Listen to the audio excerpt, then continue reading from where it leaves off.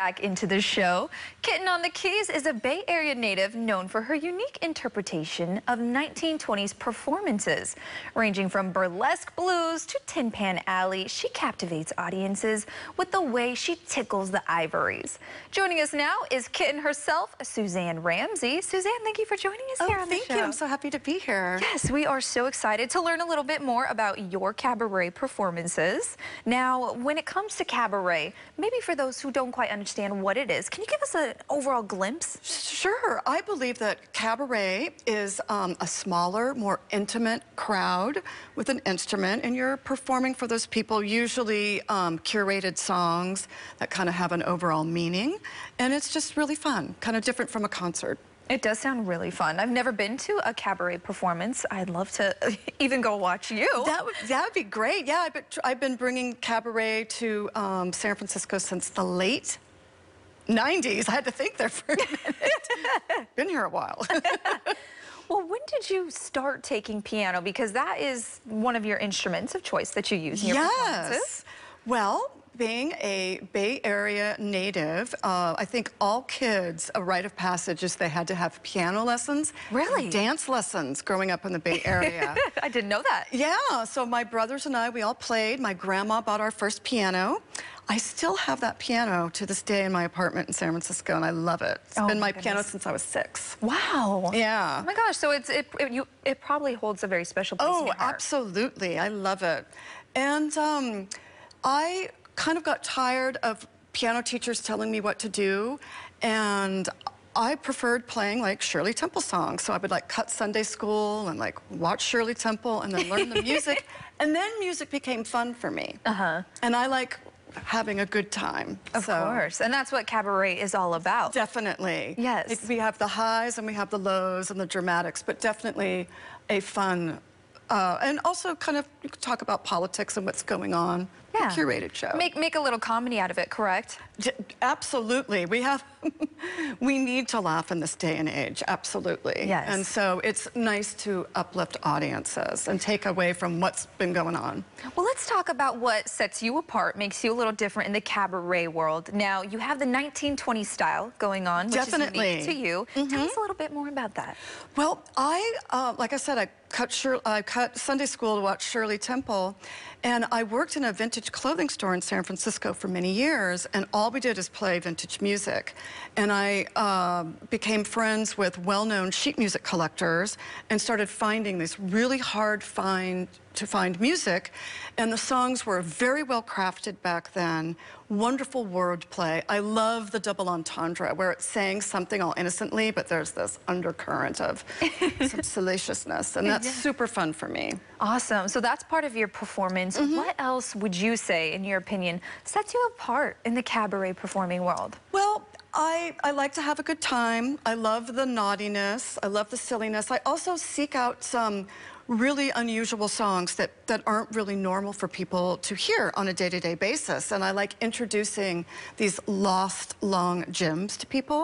I also like taking modern songs um, and reinterpreting them in a new way. Mm -hmm. And, and people people kind of are, are, liking that, like taking a pop song and making it very dramatic or very, very beautiful. Just like taking it in a different places than what it's what you usually hear it as. And that's so interesting. Can you, can you explain your process in taking, let's say, a hit popular song mm -hmm. and turning it into something that you could perform that people, in the fact that people recognize it, but no, it's different?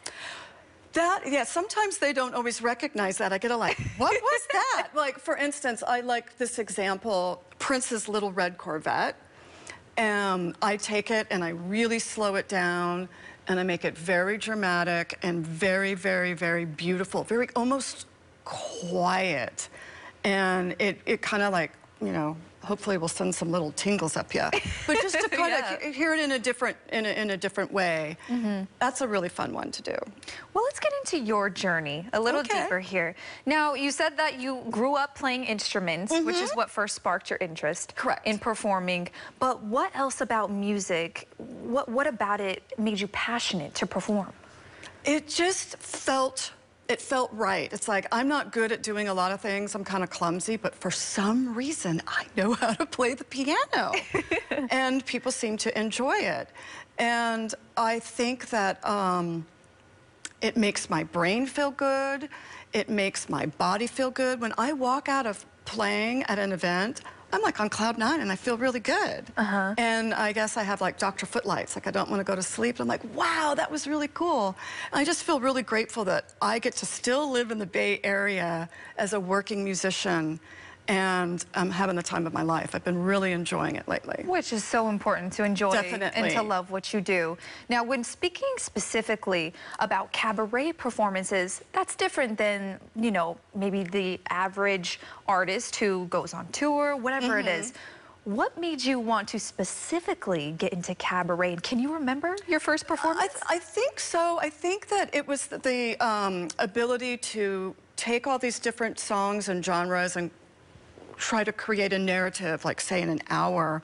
And I love like rock and roll. I grew up on rock and roll and having this kind of like rock and roll cabaret excited me like David Bowie was like, to me, the ultimate rock and roll uh, cabaret artist with certain songs. And I'm like, wow, I can take this stuff that I have loved throughout my life and reinterpret it and it, it just is like I've been doing it anyways at home. I might as well bring it to an audience. Wow, that's so. So you actually, without even realizing it, you were pretty much doing cabaret already, and you're yes. like, I might as well let other people enjoy this and and watch me perform. It's crazy. Like I still have sheet music from the '70s when I was a kid that I bought in downtown Lafayette. That's incredible. I know, and then I'll I'll play it, and and it's. Uh, it's really fun. So basically, I was doing it all along, and I didn't know it. Well, now that you're here today, mm -hmm. you're a mm-hmm. performer, and like you said, you've been in the Bay Area performing cabaret for many years now.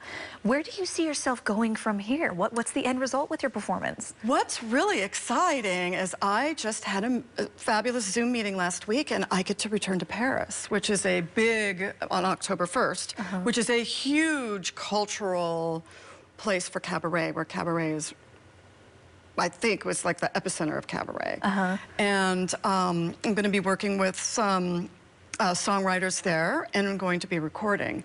That's really exciting to me, to be able to travel with what I do. Uh -huh. And I think that's the next step. And I'm just going to continue doing what I'm doing and, and bringing it to, we have flower piano coming up in San Francisco in Golden Gate Park in the Botanical Garden.